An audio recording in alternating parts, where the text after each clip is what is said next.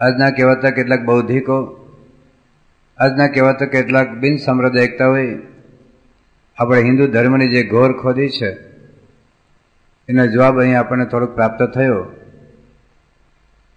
એ કમનસીબીની વાત છે કે હિન્દુસ્તાનની અંદર જ્યાં વેદો, જ્યાં ઉપનિષદો, જ્યાં મહાભારત, જ્યાં રામાયણ, જ્યાં ભાગવત આદિ ગ્રંથો રચાયા, એ દેશના યુવાનોને અથવા તો એ દેશના કેટલાક બૌદ્ધિકોને એ ભગવાનની સાબિતી માગવાનો જ્યારે વિચાર આવે,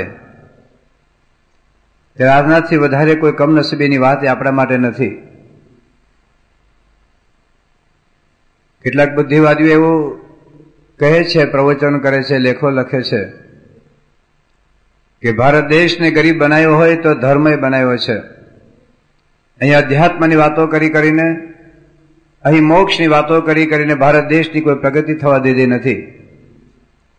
જગત મિથ્યા છે અને આત્માનું કલ્યાણ કરી લેવું જોઈએ આવી વાતો કરી કરીને ભારત દેશને કંગાલ અને બરબાદ બનાવી દીધો છે.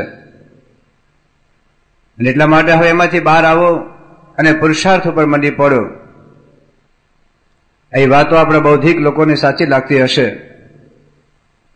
પણ ભારત દેશ ગરીબ રહ્યો એનું કારણ ધર્મ નથી. ભારત દેશ ગરીબ રહ્યો એનું કારણ મંદિર નથી. ભારત દેશ ગરીબ રહ્યો એનું કારણ અધ્યાત્મ નથી. બહુ જ વિચારવાની જરૂરિયાત છે. ભારત દેશ ગરીબ રહ્યો એના કારણો અનંત અને અનેક છે. એની ચર્ચા આજે આપણે કરવી નથી. પરંતુ જે દેશોની અંદર આજથી બસો ત્રણસો વર્ષ પહેલા જે દેશોને કોઈ ખાવાનું ભાન નહોતું, એ અંધકાર યુગની અંદર જીવનારે પશ્ચિમના દેશો છેલ્લા ત્રણસો વર્ષની અંદર બસો વર્ષનું સંશોધન કરેલું છે. ભારત દેશ હજારો લાખો વર્ષ પહેલા આપણે ત્યાં સમૃદ્ધિની છોડો વચ્ચે ભારત દેશ જીવતો હતો. અને એટલા માટે જ ભારત દેશની અંદર જે અંગ્રેજો આવ્યા, પોર્ચુગીઝ લોકો આવ્યા, મુસ્લિમ આવ્યા, ભારત દેશને લૂંટવા માટે આવેલા છે. ભારત દેશની સમૃદ્ધિ જોઈને જો ભારત દેશની અંદર અધ્યાત્મની વાતો કરીને, એક ધર્મની વાતો કરીને, મોક્ષની વાતો કરીને જે ભારત દેશને બરબાદ બનાવી દીધો હોત આપણા ઋષિ મુનિઓએ તો ભારત દેશ આટલી સમૃદ્ધિ વચ્ચે જીવતો ના હોત.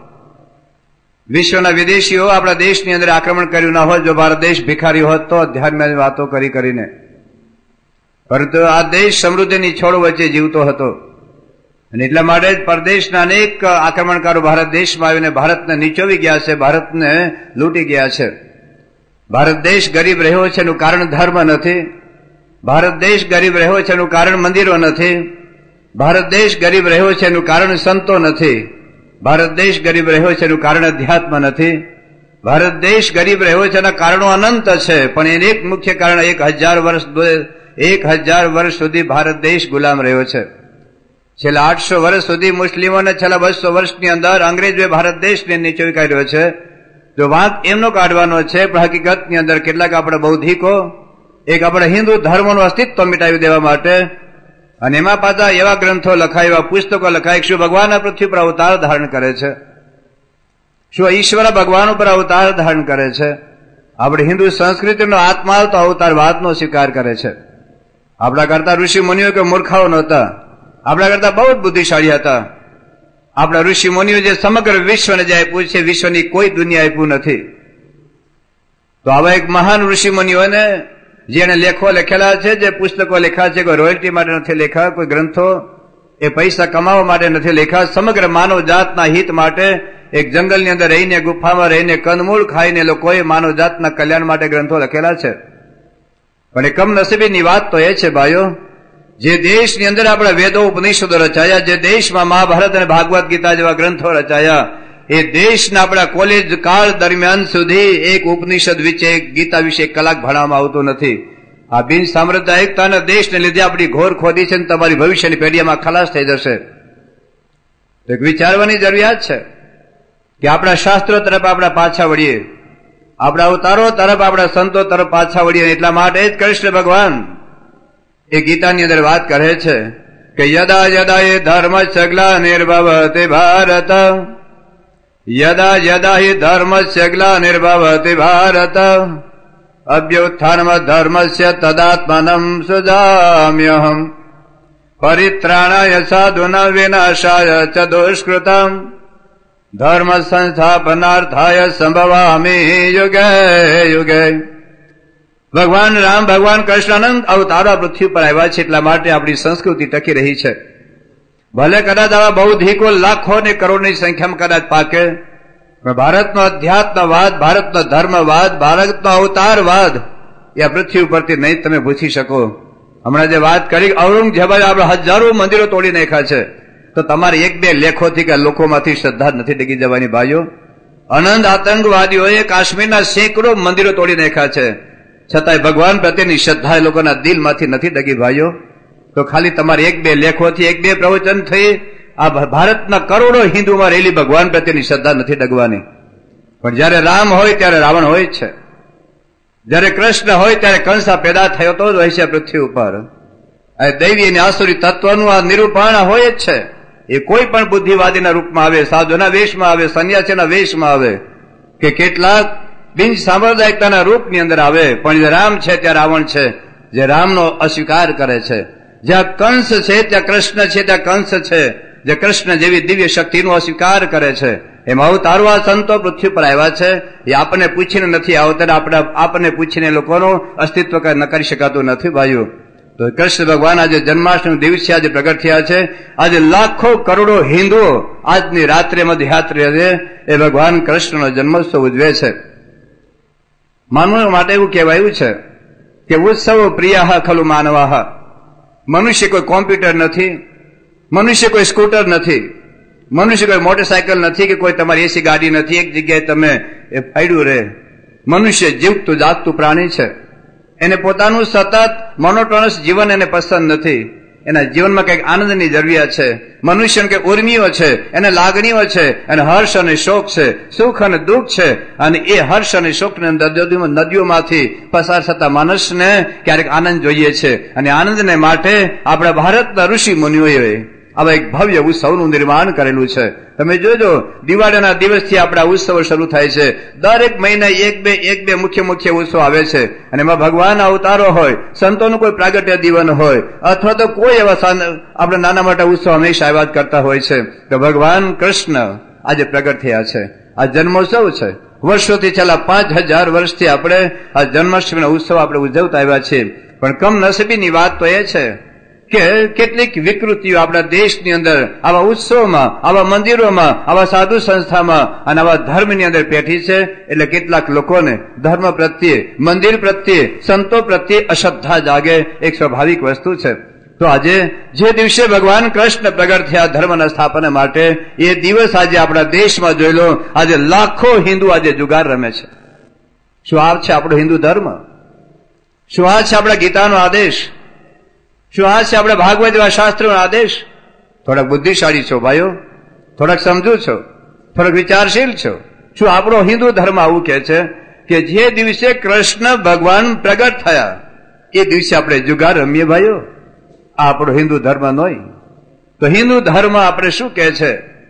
કૃષ્ણ ભગવાન કે છે ધર્મના સ્થાપન માટે પ્રગટ થયો. તો જે દિવસે ધર્મના સ્થાપન માટે પ્રગટ થયા હોય, એ દિવસે આપણે ભગવાનનું ભજન કરવાનું હોય. ભગવાનની સ્તુતિ કરવાની હોય, ભગવાનની ગીતા વાંચવાની હોય, ભગવાનના લીલા ચરિત્રનો ગ્રંથ શ્રીમદ ભાગવત વાંચવાનું હોય. અરે ભાગવતના હાથ નહીં અડાડે આજે લાખો હિન્દુઓ, અરે ગીતાને હાથમાં નહીં પકડે આજે કરોડો હિન્દુઓ. અને એ જુગારના પાના રમે અત્યારે અમદાવાદ જોઈજો એક નાનું લાસ વેગા જેવું શહેર આજે અમદાવાદમાં બની ગયું છે. આજે ભારતની હજારો હોટેલોમાં આજે, આજના દિવસે, આજના પવિત્ર દિવસે લોકો જુગાર રમીને, હું તો એમ કહું છું કે કૃષ્ણ ભગવાનને આપણું પ્રાગટ્ય ઉત્સવ નથી કરતા ભાઈઓ, આપણે કૃષ્ણ ભગવાનની હત્યા કરીએ છીએ. તમને કદાચ આ શબ્દથી આંચકો લાગશે, પરંતુ આ આપણો હિન્દુ ધર્મ નો આ હિન્દુ ધર્મ આવો નથી. થોડાક દિવસો પછી આવશે તમારા નવરાત્રીના ગરબા. આ નવરાત્રીના ગરબા, ભાઈ, માતાજીની ભક્તિ આ નથી. આ ઉત્સવમાં જે આપણી વિકૃતિઓ બેઠી છે. તમે માતાજીને માનો, તમારા ઘરમાં માનો, તમે તમારા કુટુંબમાં રાસ ગરબા લો. અરે, બેનો બેનો રીતે ગરબા લે, ભાઈઓ ભાઈઓ રીતે ગરબા લે, પણ બેનો અને ભાઈઓ કોકના બૈર્યા ને કોકના છોકરાઓ. હું નથી કહેતો કે બધા કામ વાસના માટે ભેગા થયા છે, પણ ઘી ને અગ્નિ ભેગા થાય વગેરે રેજ નહીં, ભાઈઓ. તમારા સમાજની અંદર જોઈ જોઈજો આ આપણો હિન્દુ ધર્મ નોય. આપણી સંસ્કૃતિ નથી. આ વિકૃતિ આપણા ધર્મની અંદર બેઠી છે. એનું કારણ શું છે? કે ભગવાન જે પ્રગટ થયા એનું સાચું રહસ્ય આપણે સમજા નથી. ભગવાનની પ્રગટ જો હોય, તો આપણને સાચી વાત સમજાવે. તો ભગવાન આજે પ્રગટ થયા કૃષ્ણ ભગવાન આજથી પાંચ હજાર વર્ષ પહેલા એ બિચારાને દુઃખ થતું હશે કે મારા જન્મ દિવસે મારા દેશની અંદર, અરે મારા કરોડો હિન્દુઓમાં આ વિકૃતિ. આજે કૃષ્ણનો જન્મોત્સવ ઉજવનારા કેટલાક દારૂ પીતા હશે. અરે કેટલાક બીડી અને સિગારેટ પી પીને જુગાર રમતા હશે. કૃષ્ણ ભગવાન બિચારાને દુઃખ થતું હશે કે શું હું શા માટે પ્રગટ થયેલો આ પૃથ્વી ઉપર? એક અસુરનો નાશ માટે પરિત્રાણાય સાધુનામ વિનાશાય ચ દુષ્કૃતામ. આજે ઘેર ઘેર વ્યક્તિ વ્યક્તિ જયારે દુષ્ટ ભાવ આપણા હૃદયમાં પ્રગટ થયો છે ત્યારે. કૃષ્ણ ભગવાન તો પ્રગટ થઈ ચુક્યા. પાંચ હજાર વર્ષ પહેલા અને પાંચ હજાર વર્ષથી આપણે જન્માષ્ટમી ઉજવતા આવ્યા છીએ. પણ ભગવાન સામે સંદેશ આપણને આપ્યો છે કે ભગવાન તો આવે ને જાય, પણ પૃથ્વી ઉપર પ્રગટ કોઈક ને કોઈક સ્વરૂપ દ્વારા રહે, એને જ ઓળખી શકીએ. પ્રગટ ભગવાન જો તમને મળી શકે તો તમને ભક્તિનું સાચું સ્વરૂપ સમજાવશે. હનુમાન દાદાની મૂર્તિ તો છે જ. હનુમાન દાદાની, એ ચાલીસા પડનારા પૃથ્વી ઉપર કરોડો હિન્દુઓ છે ભાઈઓ. પણ નિર્વ્યસની થઈને પોતાનું પવિત્ર અને નીતિમાન જીવન જીવીને હનુમાન ચાલીસાના પાઠ કરનારા કેટલા હશે? માતાજીને માનનારા પૃથ્વી ઉપર કરોડો છે. પણ નિર્વ્યસની જીવનને નીતિ અને પ્રામાણિકતાથી ધંધો કરીને માતાજીને માનનારા કેટલા હશે પૃથ્વી પર ભાઈઓ? રામ ભગવાનને માનનારા પૃથ્વી પર લાખો અને કરોડોની સંખ્યામાં છે. પણ નિર્વ્યસની જીવન જીને નિત્યની પ્રામાણિકતાથી ધંધો કરીને ભગવાન રામનું ભજન કરનારા પૃથ્વી ઉપર કેટલા હશે? કૃષ્ણનું ભજન કરનાર પૃથ્વી પર લાખો હિન્દુઓ છે, પણ નિર્વ્યસની જીવન જઈને નિત્ય અને પ્રમાણિકતાથી પોતાનો ધંધો કરીને કૃષ્ણ ભગવાન પ્રત્યેની પોતાની શ્રદ્ધા વ્યક્ત કરનારા પૃથ્વી ઉપર કેટલા હશે? હશે? એનો દુકાળ નથી. કોઈક ને કોઈક જગ્યાએ તો હશે જ ભાઈઓ, પણ આજે એવું એક પ્રમાણ, એક વિકૃતિનું આપણા દેશમાં આવી રહ્યું છે. ત્યારે કૃષ્ણ ભગવાન પોતાના પ્રાગટ થયા પછી પોતાનું કાયમી સરનામું પૃથ્વી પરનું આપે છે. ભગવાનનું કાયમી સરનામું પોતે પૃથ્વી પર આપે છે. ભગવાનનું સરનામું પેલા શોધવા નીકળ્યા હતા ને ભગવાનને? તો ભગવાનનું સરનામું જરૂર પડે. તમે અમદાવાદ જાઓ ને રિક્ષાવાળા કહો મારે હાળાને ઘરે લઈ જાઓ. રિક્ષણ ખબર છે તારો હાળો ક્યારે છે? હા તમે મુંબઈ જાવ ટેક્સી વાન કે મારે મારે જમાઈને ઘરે લઈ જાઓ. મુંબઈમાં ટેક્સી વાન ખબર છે કે તમારે જમાઈ ક્યારે છે? તો એડ્રેસ જરૂર પડે તમારી પાસે. તો ભગવાન રામનું એડ્રેસ ક્યાં છે? ભગવાન કૃષ્ણનું એડ્રેસ ક્યાં છે ભાઈઓ? ભગવાન રામ પ્રગટ થઈ ગયા, એકવીસ લાખ વર્ષ થઈ ગયા. અરે રામ નવમી આપણે બાર, બપોરે બાર વાગે રામ જન્મોત્સવ ઉજવીએ છીએ, પણ રામ ક્યાં છે અત્યારે? તુલસીદાસે રામ ભગવાનનું સરનામું આપ્યું છે કે રામ મિલન કે કારણે. રામ મિલન કે કારણે જો તું ભાઈઓ ઉદાસ, તુલસી શોધી લે સંગત સંત કી રામ છે નો કી પાસ. રામ જોઈએ છે? રામ જોઈતા જ નથી આપણે આપણે તો ટીવી જોઈએ છે. આપણે તો ટેલિવિઝન જોઈએ છીએ, આપણે તો ફ્રીજ જોઈએ છીએ, આપણે ગાડી જોઈએ છે, આપણે બંગલા જોઈએ છે આપણે પૈસા જોઈએ છે પણ રામ ક્યાં જોઈએ છે? અંતરની જંખના જાગે તો રામ મળે ભાઈઓ. તો રામ મિલન કે કારણે જો તું ભાઈઓ ઉદાસ, તુલસી શોધી લે સંગત સંત કી રામ, જેનો કી પાસ. રામ ક્યાં છે? રામ એવા સંતના હૃદયમાં છે. કૃષ્ણ ભગવાન પોતાનું સરનામું આપે છે. ભાગવતની અંદર, એકાદશ સ્કંદની અંદર કૃષ્ણ ભગવાન ઉદ્ધવજીને કહે છે કે, સાધવો હૃદયમ મહ્યમ. સાધવો હૃદય મહમ, સાધુનામ હૃદયમ ત્વહમ, હું સાધુનું હૃદય છું. સાધુના હૃદયની અંદર હું રહ્યો છું. તો કૃષ્ણ ભગવાન ક્યાં છે? એવા સંતમાં છે. કવિ મનસુર અલી એક મુસ્લિમ કવિ એક જબરજસ્ત પદે સુફી સંત થયા એની પણ આ જ વાત કરી છે કે અગર હૈ શોક મિલને કા, અગર હૈ શોક મિલને કા તો હર દમ લવ લગાતા જા ભાઈ. જલાકર ખુદ નુમાય કો ભસ્મ તન પર લગાતા જા. મુસલા છોડ, તસબી તોડ, કિતાબે ડાલ પાણી મેં. पकड़ दस्तो तो को पकड़ दस्तो तो फिर उसको कहा गुलाम उनको कहता જા ભગવાન જોવા છે ને પેલા જોવા નીકળ્યા હતા ભગવાન ભિખારી નથી તમને બાવડું પકડીને પકડાવી દે અગર હૈ શોક મિલને કા તો હરદમ લવ લગાતા જા એની લગની લાગવી જોઈએ ભગવાનને પામવાની એટલું જ નહીં જલાકર ખુદ નુમાઈ કો ભસ્મ તન પર લગાતા જા તારા અહંકારને બાળી નાખ ભાઈ તું ગમે એટલો હોય ડિગ્રી ધારી સત્તાધારી સંપત્તિ ધારી જે હોય તે તારી તારા અહંકારને બળીને ભસ્મ કર દે जलाकर खुद नुमाई को भस्म तन पर लगाता जा मुसला छोड़ तस्बी तोड़ किताबें डाल पानी में पकड़ दस्तो तू फिरस्तो का गुलाम उनको कहा जा એવા વલ્યા પુરુષને જો પકડી પાડો તો એ આપણને ભગવાનનો ભેટો કરાવશે આપણા તો હજારો લાખો કરોડા હૃદયની અંદર એક મંત્ર ગુજે છે ગુરુર બ્રહ્મા ગુરુર વિષ્ણુ ગુરુર દેવો મહેશ્વર ગુરુ સાક્ષાત પરબ્રહ્મ તસ્મૈ શ્રી ગુરુવે નમઃ ગુરુની અંદર બ્રહ્મા છે. ગુરુમાં વિષ્ણુ છે. ગુરુમાં સાક્ષાત શંકર ભગવાન છે.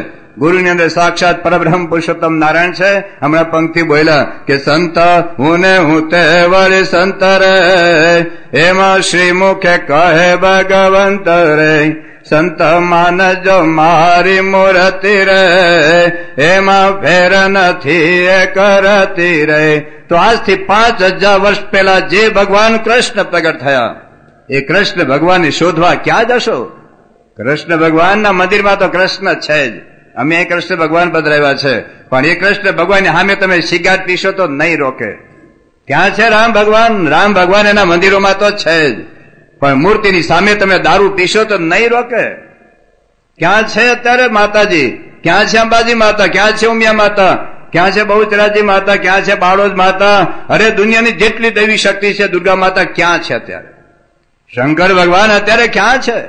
શંકર ભગવાન એના મંદિરમાં તો છે જ, પણ તમને ભાંગ પીતા શંકર ભગવાન નહીં રોકે. એ પ્રગટ જોઈએ, ક્યાં છે પ્રગટ? એવા સંતની અંદર પ્રગટ છે. અને સંત અમારા જેવા લાખો પૃથ્વી પર ભટકે છે. પણ કેવા સંતની અંદર ભગવાન છે? જોવા પડે. ઘણા કે અમારે તો બધા સંત હરકા હાર મરી જશો. બધા સંત હરકા નથી. ગુરુ કરીએ તો જ્ઞાની કરીએ, સત અસત ને જોય. બળદ લઈએ તો ખેડીને લઈએ ડોબો લઈએ તો દોઈને લઈએ. અરે ડોબો લઈએ તો દોઈને લઈએ સમજુ નર તો તેને કહીએ. કહે ગોવિંદરામ, ભાવ સાગર તો તો તરીએ, જો ગુરુ કરીએ તો જ્ઞાની કરીએ. અરે ટમેટા લેવા જા જોઈને લો છો મારા વાદળાઓ બટેટા જોઈને લો છો, રીંગણા જોઈને લો છો, દાંતણ જોઈને લો છો, અરે વેવાય જોઈને શોધો છો, જમાઈ જોઈને શોધો છો. તો પછી ગુરુ નહીં ને જેને આધારે જીવનની નૌકા શોધવાની, જેને આધારે તમે રામને પામવાના છો, જેને આધારે તમે ભગવાન કૃષ્ણને પામવાના છો જેને આધારે તમારી માતૃ શક્તિને તમે પામવાના છો. અથવા અમે સ્વામિનારાયણ માનીએ છીએ, તો જેની આધારે અમે ભગવાન સ્વામિનારાયણ પામવાના છીએ. એ ગુરુ નહીં જોવાના. ગુરુ એટલે કથાકાર, ગુરુ પ્રવચનકાર, ગુરુ એટલે ચમત્કાર બતાવનાર. એ કોઈ લક્ષણ છે જ નહીં ભાગવત ગીતા રામાયણની અંદર. ભાગવત ગીતા રામાયણ એક માત્ર લક્ષણ છે. કૃષ્ણ ભગવાને ગીતામાં કહ્યું, આજે કૃષ્ણ ભગવાન પ્રગટ થયા છે. તો કૃષ્ણ ભગવાન ગીતા હાથમાં જાળજો ભાઈ છોકરી સિવાય. ગીતા જાળજો ક્યારે? પકડજો હાથમાં. ગીતા નામની દીકરીની વાત નથી કરતો. ગીતા નામનો ગ્રંથ છે. ખબર છે ને આપણે હિન્દુઓને? તો કૃષ્ણ ભગવાનને ગીતામાં લખ્યું છે કે, પ્રજહતિ યદા કામન સર્વાન પાર્થ મનોગતન. પ્રજહતિ યદા કામન સર્વાન પાર્થ મનોગતન. આત્મન્યેવાત્મના તુષ્ટ સ્થિત પ્રજ્ઞસ્તદોચ્યતે જેના જીવનમાં કોઈ કામનાઓ નથી. કઈ કામના? કંચન કામિની અને કીર્તિ. આ ત્રણની કામના છે રામાયણની અંદર તુલસીદાસ કહે છે કે નારી નયન શર જાહી ન લાગા ઘોર ક્રોધ નિશિતમ જાગા લોભ પાશ જહી નર ન બંધાયા સુ આપ સમાન રઘુરાયા હે રામ જેવા કોણ છે રામની કથા કરનાર રામના મંદિરો બાંધનાર કોણ છે રામ નારી નયન શર જાહી ન લાગા ઘોર ક્રોધ નિશિતમ જાગા લોભ પાશ જહી નર ન બંધાયા સો આપ સમાન રઘુરાયા જે સંતની અંદર નથી કામ, નથી ક્રોધ, નથી લોભ, એવા સંત આ પૃથ્વી ઉપર ભલે મનુષ્ય જેવા હોય. ભાગવતમાં લખ્યું છે કે કાંતા કનેક સૂત્રેણ વેશિતમ સકલમ જગત. તાસુ તેશુ વિરક્તોયમ સદીભૂત પરમેશ્વર. આ કનક અને કાંતા સ્ત્રી અને દંત આખું જગત વ્યાપ્ત છે. એમાંથી જે મુક્ત છે, તો સદીભૂત પરમેશ્વર. એવા આ એક સંત ભગવાન સ્વામિનારાયણ પૃથ્વી પર લાવ્યા અને એ સંતની પરંપરામાં આજે પ્રમુખ સાહેબ મહારાજા પૃથ્વી પર બિરાજમાન છે. તમે જે ભગવાન માનતા હોય માનજો. ભલે ભગવાન રામને માનો, ભગવાન કૃષ્ણને માનો, ભગવાન માતાજીને માનો, ભગવાન શંકરને માનો, પણ તમારે ભગવાન રામને પામવા હોય, ભગવાન કૃષ્ણને પામવા હોય, અથવા તો કોઈ પણ માતાજીના કોઈ શક્તિ સ્વરૂપને તમે માનતા હો, કદાચ શંકર ભગવાનને માનતા હો, શંકર ભગવાન ક્યાં છે, માતાજી ક્યાં છે, ભગવાન રામ ક્યાં છે, ભગવાન કૃષ્ણ ક્યાં છે, અરે ભગવાન સ્વામિનારાયણ ક્યાં છે? શાસ્ત્ર માત્ર બતાવે છે કે આ સંતમાં છે, જેનું શુદ્ધ જીવન પવિત્ર નિષ્કલંક સંત હોય, એ આજે પૃથ્વી પર વિરાજમાન છે, તો તમારું નાસ્તિક ભાવ ઓગળી જશે, પ્રમુખ સ્વામીના દર્શન માત્રથી. અત્યારે સેંકડો યુવાનો અમેરિકા લંડનની અંદર સેંકડો યુવાનો જેને ત્યાં તો એ જ ભણાવવામાં આવે છે હિન્દુ ધર્મને એવો વિકૃત ત્યાં ભણાવવામાં આવે છે, એવો વિકૃત તમને અમેરિકાની કે ઇંગ્લેન્ડની કોલેજોમાં એ લોકો વર્લ્ડ રિલિજન ભણાવે છે, એમાં એવો વિચિત્ર વિચિત્ર એટલે વિચિત્ર ભણાવે છે. હમણાં આપણા સંતો અમેરિકા ગયા. એક કિશોરના મા બાપનો પત્ર આપણા સંતો પર આવ્યો, એના પિતાશ્રીનો પત્ર કે મારો છોકરો અમેરિકાની કોલેજમાં ભણે છે, વર્લ્ડ રિલિજનમાં હિન્દુ રિલિજને ત્રણ પ્રશ્ન પૂછ્યા છે કે તમે કૃષ્ણ તમારી હિન્દુ ધર્મમાં વ્યભિચારની વ્યાખ્યા કઈ? પેલો પ્રશ્ન. તમારા ધર્મમાં વ્યભિચારની વ્યાખ્યા કઈ? બીજો પ્રશ્ન, કૃષ્ણ અને રાધિકા વચ્ચેનો સંબંધ કયો? એમાં લખ્યું છે કે રાધિકાના લગ્ન થઈ ગયેલા. ત્રીજો પ્રશ્ન, તો પછી કૃષ્ણ તમારા હિન્દુ સમાજનો આદર્શ કેવી રીતે? ચોથો પ્રશ્ન, તો કૃષ્ણની ગીતા તમને માન્ય કેવી રીતે? એવા વિકૃત એવા વિચિત્ર પ્રશ્નો પૂછીને આપણા મદગજમાંથી આપણા મગજ ધાપણ ક્યાં દેખાય નથી, તારે બેક્ટેરિયા ક્યાં દેખાય નથી, તારે માઇક્રોસ્કોપ ક્યાં દેખાય છે દેખાય નથી, તારે આંખનો ડોળો ક્યાં દેખાય છે નથી. અત્યારે તમે જો તમારે ભેદની પાછળ ઊભો છો ક્યાં દેખાય છે? અરે ધોળે દિવસે તારા ક્યાં દેખાય છે? અરે દૂધમાં ઓગળેલી ખાંડ ક્યાં દેખાય છે? તને દેખાતું એટલે જ માનવાનું હોય તો તારા દાદા દાદા નહોતા. માનના નહોતા? તો તું ક્યાંથી આવ્યો? તો બધું ના દેખાતું એટલે નાયું નથી ભાઈઓ શ્રદ્ધાનો વિષય છે, અધ્યાત્મ શ્રદ્ધાનો વિષય છે. અરે આ લોકમાં શ્રદ્ધા છે અને ચશ્મા કેમ કહેવાય સ્કૂટર કેમ ના કહેવાય? What is logic behind this અને સ્કૂટર કેમ ના કહેવાય અને ફ્રીજ કેમ ના કહેવાય? કેમ આને ચશ્મા કહેવાય ભાઈઓ? કેમ? આજે લાખો કેમ આપણે ચશ્મા કેમ? બુદ્ધિથી બોલો ને. બુદ્ધિથી બોલાય. તમારા માનો નિશ્ચય, આપણા બાપનો નિશ્ચય બુદ્ધિથી ન થયો? માના વચનનો વિશ્વાસથી તમે માન્યું કે અમારા પપ્પા છે. અને પપ્પાના વચનનો વિશ્વાસથી માન્યું કે અમારા મમ્મી છે. એનું કે ના, મારે બુદ્ધિથી બતાવું. હું તો ભણેલો છું એમને ના માનું. તો કે તારા મમ્મીને જા. તો બધું બુદ્ધિથી નથી ચાલતું ભાઈ. શ્રદ્ધાનો વિષય છે. તો કોના વચનમાં શ્રદ્ધા છે? જેને કરોડો વર્ષોથી એક જ સિદ્ધાંત પૃથ્વી પર લાવ્યા છે. અરે જંગલમાં રહી રહીને સાધના કરીને જેને જે જોયું છે, એ એને સ્વીકાર્યું છે, એ આપણને કહ્યું છે. માટે ખોટી નાસ્તિક વાત છોડીને, ખોટી બુદ્ધિ વાત છોડીને, એક શ્રદ્ધાથી એવા સંતના વચનમાં વિશ્વાસ રાખીને તમારા દીકરાઓનું, તમારી ભવિષ્યની પેઢીનું જો તમે સાચું હિત જોતા હો તમે યાદ રાખજો, આવતી પેઢી ખરાબ છે. આવતી તમારે વીસ વર્ષ પહેલા સમાજ જુદો હતો. વીસ વર્ષ પહેલા તમારી ક્વોલિટી જુદી હતી. વીસ વર્ષ પહેલા તમે ટેલિવિઝનના કાર્યક્રમો જુદા હતા વીસ વર્ષ પહેલા મોબાઈલ ફોન તો હતા જ નહીં. અરે ઇન્ટરનેટ ઇન્ડિયામાં નહોતું. આજે ઇન્ટરનેટ આવી ગયું છે. આજે તમારી વીડિયો કેસેટ ભયંકર ભયંકર ભયંકર તમારા મગજ તોડી નાખે એવી વીડિયો કેસેટ બહાર પડી છે. જે તમારો દીકરો, દીકરી તમારા ખોળામાં રમે છે. આજથી